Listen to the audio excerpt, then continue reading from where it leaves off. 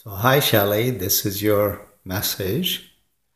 And I'm going to play the entire thing so you can see it. And then at the end, I'm going to show you what I suggest the message should be based on past successes. And I'll make you both of them so you can load whatever you want.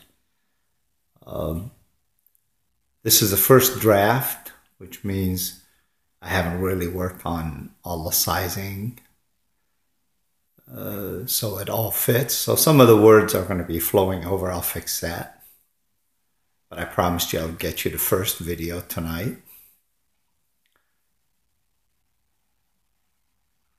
Now you have to remember the customer only has about one and a half seconds to see you. I looked, I didn't see a stoplight in front of your place.